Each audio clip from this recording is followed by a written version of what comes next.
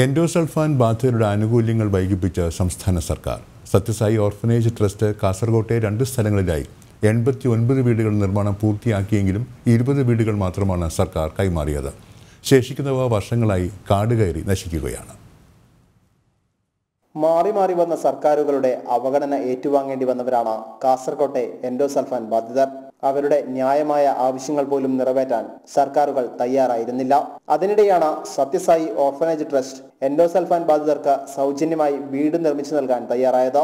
ഇതുപ്രകാരം സർക്കാർ പെരിയയിൽ അനുവദിച്ച അഞ്ചേക്കർ സ്ഥലത്ത് എട്ട് കോടി രൂപ മുടക്കി നാൽപ്പത്തി മൂന്ന് വീടുകൾ ട്രസ്റ്റ് നിർമ്മിച്ചു നൽകി. എന്നാൽ പദ്ധതി പൂർത്തിയാക്കി നാലു വർഷം കഴിഞ്ഞിട്ടും ഇതിൽ ഇരുപത് വീടുകൾ മാത്രമാണ് സർക്കാർ അർഹരായവർക്ക് നൽകിയത്. പിന്നീട് പെർളയിൽ പൂർത്തിയാക്കിയ മുപ്പത്തിയാറ് വീടുകളിൽ ഒന്നുപോലും ഗുണഭോക്താക്കൾക്ക് നൽകാൻ സർക്കാരോ ഉദ്യോഗസ്ഥരോ തയ്യാറായിട്ടില്ല. വീട് നിർമ്മിച്ചു നൽകിയാൽ വെള്ളവും വൈദ്യുതിയും നൽകുമെന്നായിരുന്നു ഇടത് സർക്കാരിന്റെ വാഗ്ദാനം. എന്നാൽ വീടുകൾ കാടുപിടിച്ച് നശിച്ചിട്ടും വൈദ്യുതി എത്തിക്കാൻ അധികൃതർ തയ്യാറായിട്ടില്ല. റോഡില്ല പിന്നെ ഒന്ന് കുടിവെള്ളം ഇല്ല പിന്നെ പവർ കണക്ഷൻ. അപ്പോൾ ഈ മൂന്ന് പ്രശ്നങ്ങളാണ് പ്രധാനമായിട്ട് പറയുന്നത്. അപ്പോൾ ഈ മൂന്ന് പ്രശ്നങ്ങളും ഇതിനു മുമ്പത്തെ ഭരണസമിതി കളക്ടറിന്റെ ശ്രദ്ധയിൽ കൊണ്ടുവന്നിട്ടുണ്ടെന്നാണ് എനിക്കറിയാൻ സാധിച്ചത്.